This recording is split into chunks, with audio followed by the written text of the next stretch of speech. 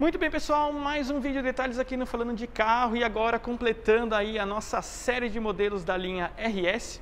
Chegou a vez de vocês conhecerem o RS7 Sportback, então se inscreva aqui no canal, já deixe seu like, lembrando nossa meta aí de mil likes em todos os vídeos e para a linha RS a gente está pedindo dois mil likes, a Grazi pedindo aí ó, dois mil likes e vocês vão conferir tudo sobre o RS7 Sportback.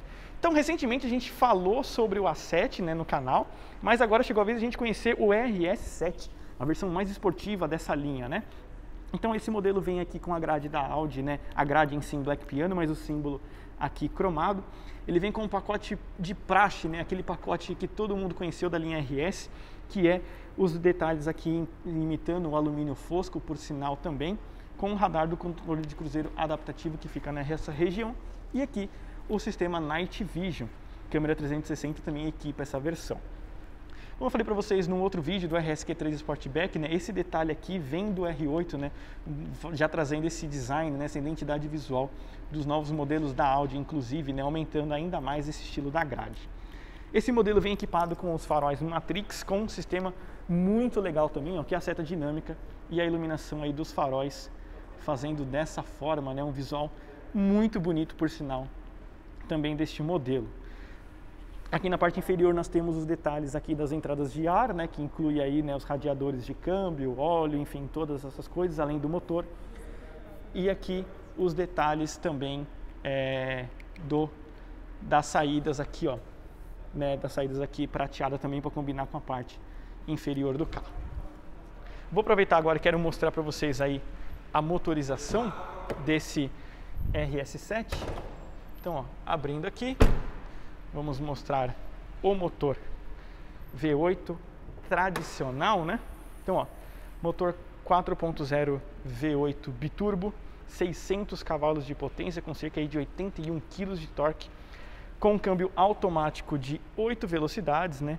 E 0 a 100 em 3.6 segundos. Então aí né, as turbinas ficam aqui na parte superior do carro, inclusive também. Né? Notem que as entradas de ar, né, elas vêm aqui de baixo né, e puxa ali para cima. Então realmente um esportivo muito legal, inclusive. Vamos fechar aqui. Chegar na parte lateral para eu mostrar para vocês as rodas de liga leve desse carro, que é uma pintura bem especial, por sinal. Obviamente, sensor ali na lateral com Park Assist, né, sensor dianteiro. O freio cerâmica aqui é um kit opcional de 75 mil reais, que é, eleva a velocidade de 280 para 305 km por hora. Notem aqui a pintura prata né, da, da pinça de cerâmica.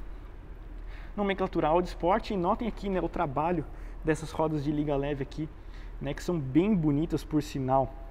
Né, realmente aí um design bonito. A suspensão aqui chama DRC, né, que tem ajuste aí de rigidez é, para ajudar ainda mais na performance do carro, mas ela não muda a altura do modelo. Ele sempre tem essa altura. Quero pegar aqui só a medida para vocês, é um pneu 285, perfil 30, aro 22. Essas rodas aqui que vocês estão vendo do RS7. Como eu falei para vocês, né, aquela, aquele design padrão né, de acabamento do RS, você tem aqui os retrovisores no prata fosco, assim como a moldura dos vidros e da saia lateral também, né, fazendo esse visual aí bem legal do RS7. O teto solar aqui panorâmico, mostrando aí os detalhes para vocês. E aqui, ó, a gente tem as portas sem a coluna, né? Fazendo um visual aí bem mais elegante para o carro também, com vidro duplo laminado para ajudar no isolamento acústico, né? Apesar de ser um esportivo, mas há um emulador na parte interna, por sinal. Sistema keyless, então a gente passa aqui a mão na maçaneta para trancar e passando a mão na parte interna, nós destrancamos. Agora a Grazi vai dar uma distanciada para mostrar um pouco para vocês aí sobre é, o espaço do carro, né, o tamanho dele, né, um modelo bem comprido. Ele é mais largo comparado ao A7 que vocês viram no canal, né? Notem aqui né, os paralamas mais, mais largos, né, justamente porque os pneus são maiores para esta versão aqui do carro também. E chegando aqui na parte traseira, quero mostrar para vocês a iluminação das lanternas, né, que faz um efeito muito bonito por sinal. O aerofólio já está levantado, inclusive, para vocês poderem aqui conferir. Então aí o visual das lanternas para vocês poderem conferir, né? Realmente muito bonito esse efeito que a Audi fez com as lanternas do carro. Saídas ovais em black piano aqui né, desse motor V8 com aplique prateado mais uma vez. Apertando duas vezes nós temos a abertura do porta-malas. Então aí os detalhes para vocês, né? Um, realmente um carro Sportback tem um bom espaço interno, inclusive. Então a iluminação em LED e aqui o sistema do subwoofer e as bombinhas ali, né? Do sistema do pneu Ram Flat. Então aí os detalhes do carro para vocês. Lembrando que há uma tomada 12 volts aqui nessa região do carro. Vou aproveitar agora e fechar aqui o porta-malas, né? Vou segurar aqui para não pegar no carro. Então aí os detalhes. Vamos mostrar aqui um pouco do acabamento interno para vocês do RS7. Então, ó, aqui não seria preto, né? É um, um cinza um pouco mais escuro com a costura aqui, acabamento em alumínio, com a maçaneta também prateada, o acabamento aqui em alumínio mais uma vez, com esse couro terracota, né? Um couro bem clássico por sinal, que inclui aí os bancos, que são aí revestidos com o mesmo tom, apoio de cabeça em três pontos para todos os ocupantes, com Isofix. Notem que a iluminação nas pontas, né, ali é, do cinto de segurança, por sinal, né, para fazer aí ainda mais requinte para esse carro. E o apoio de braço central, para quem está sentado atrás, com um porta-copos e um baú também, ó, Grazi mostrando aí para vocês. O porta-copos, né, e o baú aí agora para vocês. Então notem aí o baú deste R7. Lembrando que o ar-condicionado digital de quatro zonas, com bancos aquecidos traseiros e ali duas tomadas USB na parte inferior com uma 12 volts. Lembrando que as saídas de ar central, ela mostrando no teto aí para vocês que é revestido com tecido preto e aqui ó, uma saída de ar também na parte lateral, nas colunas, né? E, os, e o teto do carro, inclusive, né, tem um revestimento aqui em alcântara para dar ainda mais requinte né, no, no RS7. Agora eu vou sentar ali na parte traseira, justamente aí para vocês poderem dar uma conferida no espaço interno. Esse banco está bem para trás, por sinal, mas notem que mesmo assim é um bom espaço para quem está sentado aqui, né? Dessa forma, inclusive, dá para fazer longas viagens nesse RS7 aqui sem nenhum desconforto, por sinal. Vamos agora mostrar aqui um pouco do espaço dianteiro. Então, ó, as portas, mais uma vez que eu tinha falado para vocês, e aqui trava das portas, né, todos com os comandos prateados, retrovisor aqui com desembaçador inclusive, duas memórias para o banco do motorista, cilindro elétrico para o passageiro também, comando das travas, acabamento em alumínio, aqui a soleira escrito RS7 e os bancos, né, aliás agora a soleira ali, né, uma iluminação para vocês nas portas e aqui os bancos revestidos em couro com a nomenclatura RS e a costura aqui escurecida né, nesse tom de banco que é bem bonito por sinal. Então aí os detalhes. Como eu tinha falado para vocês, ó, o banco estava bem para trás, né, então eu consigo colocar o banco mais para frente. Aqui o ajuste elétrico do volante também, com até a buzina aqui é revestida em couro por sinal também. Acabamento dos bancos, do, do volante, desculpa, também aqui nesse estilo perfurado, anotem aqui o acabamento da costura, né, do, do, da buzina, e aqui embaixo a nomenclatura RS. Então agora eu vou mostrar para vocês aqui tudo da parte interna para vocês do RS7 né, Sportback. Então, aqui a partida é por botão, né, sendo dessa forma, então aí vamos mostrar para vocês. Notem que sobe ali né, os tweeters né, dos dois lados, o sistema de som Bang Olufsen. E aqui o painel de instrumentos, né, com ajustes aí do nível do óleo, por exemplo, parte de performance, né, você pode trocar aqui por um computador de bordo, inclusive, né. Ele está dando falha na função porque o carro não foi homologado por aqui, então ele não achou um telefone, né, na realidade. Então aí os detalhes. Aqui Night Vision, sistema de áudio, telefonia e o mapa, né. Então a gente pode fazer tudo dessa forma, né? Aqui outras funções ó, do modelo também. Então aí os detalhes do painel, limitador de velocidade com ACC, assistente de faixa, né? Isso já agrega o Traffic Jam. E notem que ele tem um leitor de placa aqui ó, na parte inferior, né? Com Head-Up Display lá ao fundo também.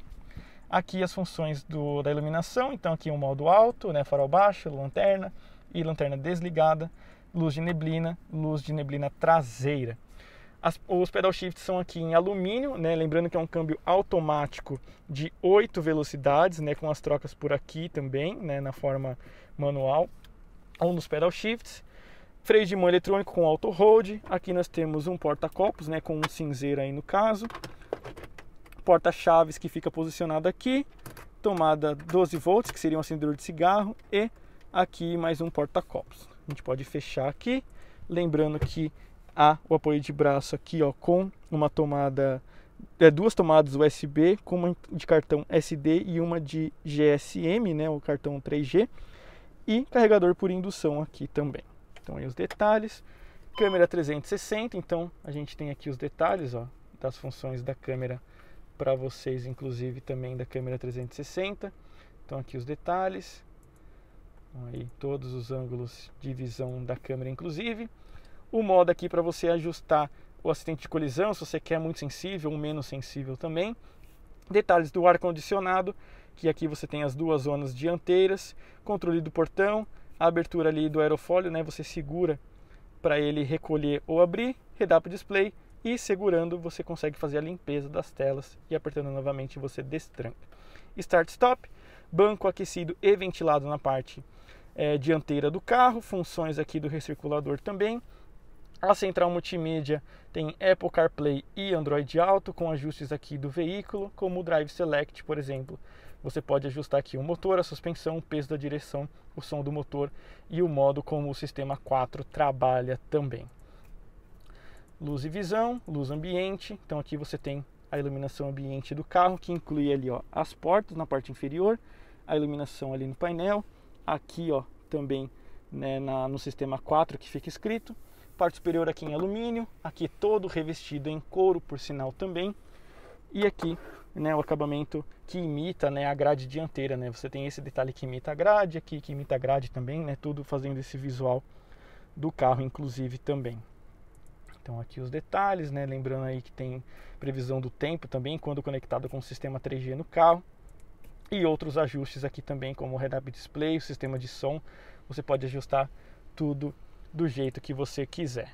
Quero pedir para a Grazi mostrar um pouco do ar-condicionado traseiro, né, que estava desligado. Então ela vai mostrar agora as funções aí, ó. Tem a função ali de temperatura, né, a função também de velocidade do vento, o banco aquecido aí para quem está sentado atrás também. Então você pode fazer todas essas funções mesmo quem está na parte traseira do carro. Mostrando aqui na parte do teto, a iluminação é toda em LED e o teto solar aqui nesse estilo panorâmico também, ó com os detalhes aí, inclusive, da abertura do teto. E aqui vocês conseguem notar bem né, o acabamento em alcântara do carro. Então aí os detalhes para vocês. Fechando aqui. Agora eu vou pedir para a Grazi ir lá atrás que eu vou dar uma aceleradinha para vocês conferirem um pouco aí do ronco desse V8 aqui do RS7 para vocês. Então aí a Grazi está ali atrás agora. Eu vou dar a partida aqui, ó. Pra vocês conferirem aí um belo ronco desse também, né? Então aí, ó, os detalhes do V8 no modo dinâmico.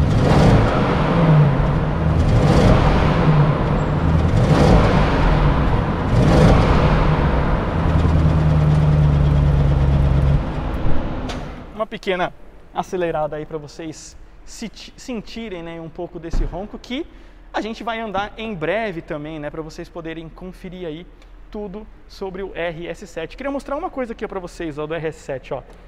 Ele tem aquele sistema que a gente pode... Opa, deixa eu só destrancar. Que a gente só encosta ó, a porta e ele termina de fechar a porta para você. Então, ó, vamos mostrar aqui de novo. Ó. A gente só encosta e ele faz o resto do, do fechamento né, das portas, vamos dizer assim. Lembrando que essa versão aqui está venda por cerca de 834 ou 39 mil reais. Eu vou deixar o preço exato para vocês agora. Lembrando que ainda há o freio cerâmica, né, que é opcional de 75 mil. Então a gente vai andar em breve nesses carros, mostrar o comportamento dinâmico dos modelos. Tem outros modelos RS para vocês conferirem aqui no canal. Então se inscreva aqui, deixe seu like e até o próximo vídeo aqui do Falando de Carro.